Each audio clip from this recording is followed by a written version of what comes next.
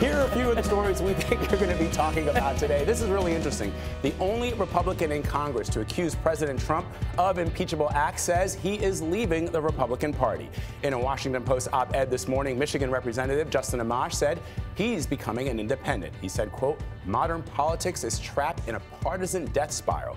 Amash said that is why he is leaving the GOP.